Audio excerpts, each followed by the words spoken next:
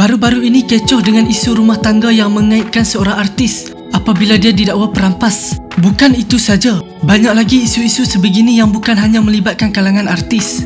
Sebelum kita lanjutkan, kepada anda yang belum lagi subscribe, apa kata anda subscribe dan tekan butang loceng untuk notifikasi video-video menarik seterusnya. Bagi mengekalkan kebahagiaan rumah tangga, penyanyi Siti Sarah Raisuddin berkata, dia menjaga hubungan dengan Allah dan sentiasa mendoakan yang terbaik dalam perkahwinannya. Menurut Sarah, sebagai manusia biasa dia hanya mampu bertawakal dan mengharapkan doa yang terbaik untuk memastikan keluarganya kekal bahagia. Katanya, saya tak dapat buat apa-apa sekiranya berlaku. Saya anggap ia kehendak Allah dan izin dari Allah. Saya tak boleh nak kawal suami. Cuma yang saya boleh buat menjaga hubungan dengan Allah.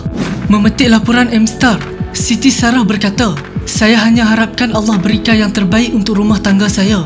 Itu adalah sebaik-baiknya. Betullah apa yang dikatakan oleh Siti Sarah. Semuanya kehendak Allah dan berserah kepada Allah adalah yang sebaik-baiknya.